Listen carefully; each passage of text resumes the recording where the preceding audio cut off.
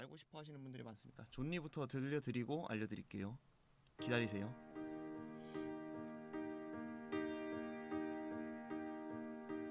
이제 괜찮니?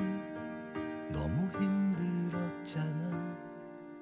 우리 그만.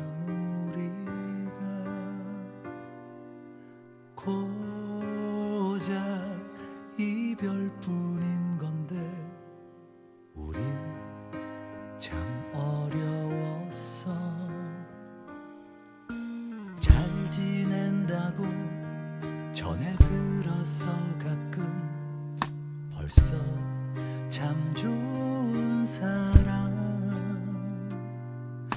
만나 잘 지내고 있어. 굳이 내게 전하더라. 잘했어 넌 못 참았을 거야. 그 허.